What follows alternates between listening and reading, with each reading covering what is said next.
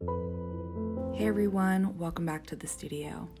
It's Sarica, and today I've got my 2020 bullet journal setup video for you. This year I'm going to be sticking with my brown traveler's notebook.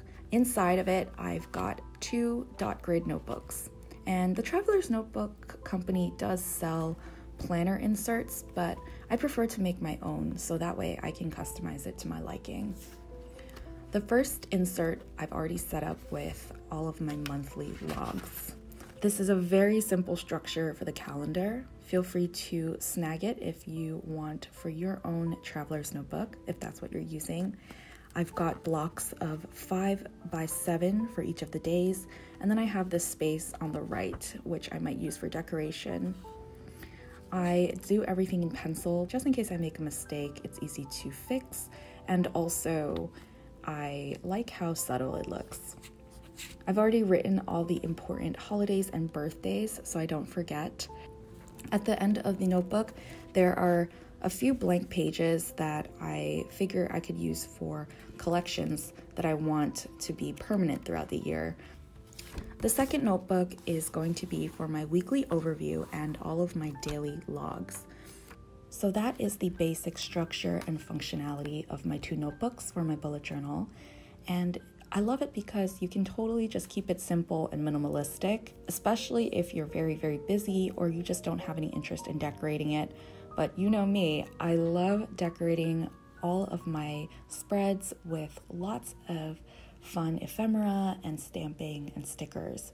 So that is exactly what I'm gonna do. Let's get to the fun part. If you're curious about any of my supplies, um, check out my video description. I'm going to leave as many links as possible to the various stamp pads and stickers, washi tape, ephemera, all of those things that I'm using. I'm going to try to find the link for it so that you can get that information. And as usual, I'm just playing around with my stationery. I'm not really going in with any sort of plan. I'm just doing what I feel looks right I know some people ask me if I have any sort of like preconceived layout for these things, and honestly, I don't. Um, it's just a way for me to unwind. So you can do as much or as little decorating as you want, and I think that's the beauty of this method of bullet journaling. You don't really have to worry about the decorating part affecting the functionality, it's just however much you want to do. So, how have you all been? Let me know. It's been such a long time since I've posted a video.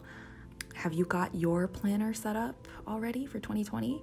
I know some people are very early. They've got all their bullet journal spreads all done in October or November. And other people, you know, they wait until the last minute and some people they just they do it in February. So let me know what your setup is. I would love to know. And let me know if you switched your planner system. Did you make any changes from 2019 to 2020? Let me know. And that is pretty much it. So until the next video, happy journaling, happy planning, and I'll see you next time. Bye.